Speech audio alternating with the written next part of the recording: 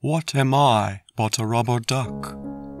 A ubiquitous yellow floating toy, synonymous with bath time and childhood.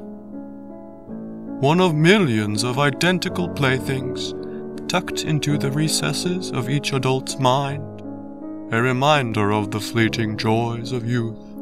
How fine for the child to grow and hold tenderly to the yellow glow of memory a beloved possession floating tranquilly in warm water.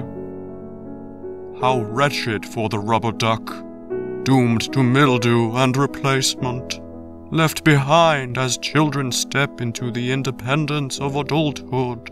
I squeak, uselessly, incapable of further meaning. Alas for the rubber duck, molded in facsimile to a true waterfowl forbidden from the joyous freedom of wilderness and migration. Would that I were a Friendly Floatee, an unwitting participant in ocean current mapping, or perhaps an intrepid adventurer dropped into a glacier's moulin, blessed to search for glacial melt flow data. Such purpose, such significance!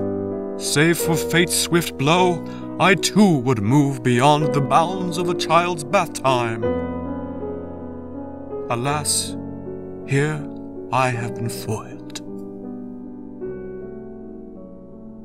And yet, to bring such lasting joy to a young mind still forming and grasping at the limits of the world, a simple, thankless, but not so terrible life.